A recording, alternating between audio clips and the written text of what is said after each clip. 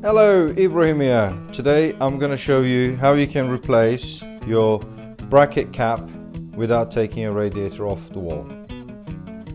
You may be missing your cap for the brackets and we need to remove brackets housing where the caps fits individually, one bracket at a time.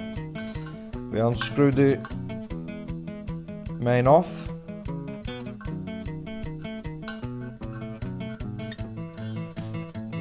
remove the housing.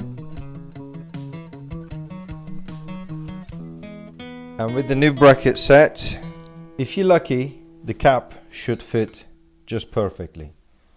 But sometimes it doesn't because these brackets all made specifically for the manufacturer so they are less likely will fit.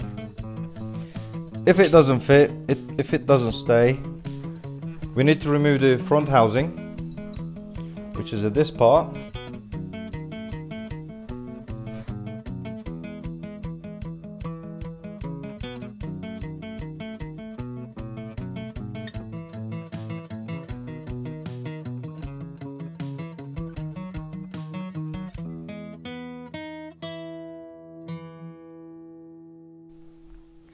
Hope you find our video helpful. If you miss any point, please comment below. Don't forget to like the video and see you in the next video.